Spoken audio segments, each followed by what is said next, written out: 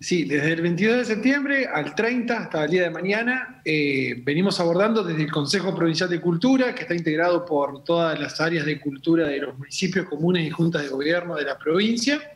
y la Secretaría de Cultura de la provincia de Entre Ríos también,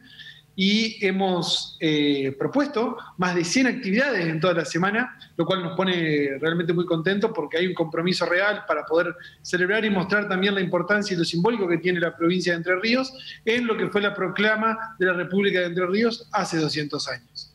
Y hoy, puntualmente, es el día que más actividades hay porque es el día... Eh, que, fue declarada la República de Entre Ríos hace, hace 200 años y tenemos actividades variadas de todo, de todo tipo, ¿no? desde actos institucionales, eh, destape de murales, placas, eh, bustos de Ramírez que se, se, implantan en algunas plazas, en algunos parques de distintas partes de la provincia,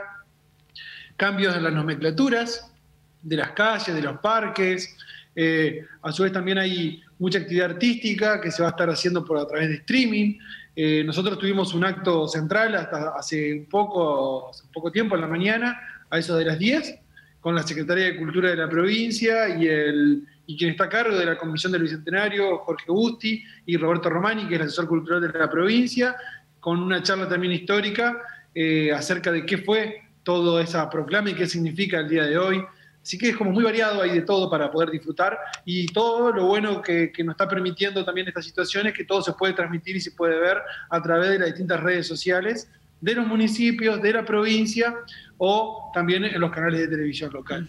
¿Cómo ha sido la recepción de la gente en esta semana de actividades eh, y de conocer un poco más sobre nuestra historia?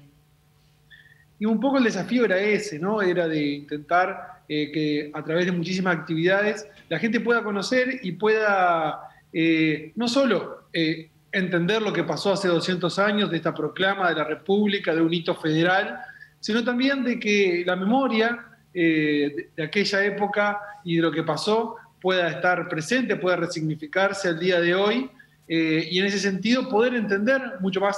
eh, en cómo estamos hoy y poder reflexionar acerca del federalismo en Argentina, acerca de la situación de Entre Ríos, acerca de lo que pasaba hoy con lo que, con lo que pasaba antes, etc. La propuesta en general fue muy bien recibida en todos los públicos, en todas las poblaciones donde, donde se han hecho actividades, porque ha habido actividades en, juntas de gobierno, en pueblos que, que, tienen muy pocos habitantes, como también en Paraná, que es como la ciudad más grande de la provincia. Y mañana cerrando esta jornada, esta semana de actividades, ¿con qué se puede encontrar la gente? Y mañana, mañana va a haber eh, desde la vieja usina, el Saludar de Vieja Usina, en conjunto con el Archivo Histórico y el Museo Provincial, eh, van a estar las, distintos capítulos de los radioteatros que estamos haciendo. Son radioteatros de la época, lo cual es muy, está muy interesante para poder disfrutarlo, que se transmite a través de, de las redes sociales de la Secretaría de Cultura. Eh, también eh, hay actos, siguen habiendo actos institucionales y también se destapan murales en distintos puntos de la provincia, murales que fueron construidos comunitariamente como un símbolo de identidad también a lo que es la entrerrenía. Decías sobre el radioteatro, muy importante y enriquecedor, no solamente por la actividad, sino también porque de esa forma, reviviendo justamente eh, esa parte de la cultura, también revivimos la historia. Sí, totalmente. E, es que eso tiene muchas veces también el arte, ¿no? El arte te permite eh, dar significantes o eh, ser algo simbólico que uno pueda tomar reflexión o pueda tomar dimensión sobre hechos que, pasaron anteriormente y hoy pueden resignificarse, pueden tener otro sentido también, o al menos tener un punto de reflexión de lo que decía antes, de tratar de generar una analogía entre lo que es hoy y lo que fue antes. Y por eso es importante eh, que la cultura se mantenga viva y la cultura esté presente para poder dinamizar estos procesos. La gente puede ingresar, decías, a las, a las redes de la Secretaría, ¿podés mencionarlas para quienes no las conocen aún? Sí, claro. En el Facebook pueden buscar Secretaría de Cultura de Entre Ríos, también en Instagram igual, o en nuestra página web que es entreríos.gov.ar perdón, cultura.entreríos.gov.ar. Bien, y ahí está también la, están los horarios de las actividades para que la gente pueda eh, seguir vía streaming también, la, sobre todo lo que tiene que ver con, con las actividades culturales, un poco de música, un poco para acompañar también estos actos.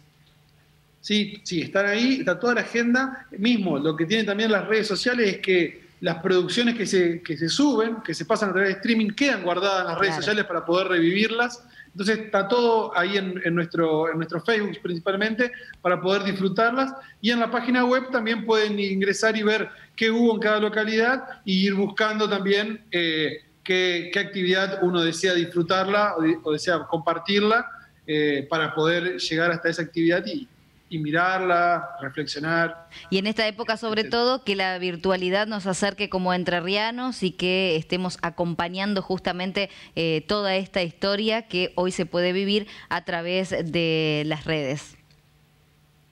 Sí, totalmente. Eh, esa, es, es una de las ventajas, digo, de, nada, hay que saber poder, hay que poder manejar todos los lenguajes y también poder acompañar a las personas que no tienen acceso, que puedan tener acceso a los distintos lenguajes de las plataformas que tienen para poder disfrutar de este tipo de actividades que se organizan desde el gobierno de la provincia, como también desde los municipios, comunas y juntas de gobierno. Hoy a la noche, principalmente, que es una actividad que quiero destacar puntualmente, es que va a haber desde eh, vicegobernación, eh, recitales en vivo de, una cantata histórica sobre el Bicentenario con artistas que, de la actualidad de entrerrianos que van a estar desde el recinto, desde senadores, eh, compartiendo su música y su melodía para todos. Bien, ¿el horario me repetís por favor? 8 de la noche.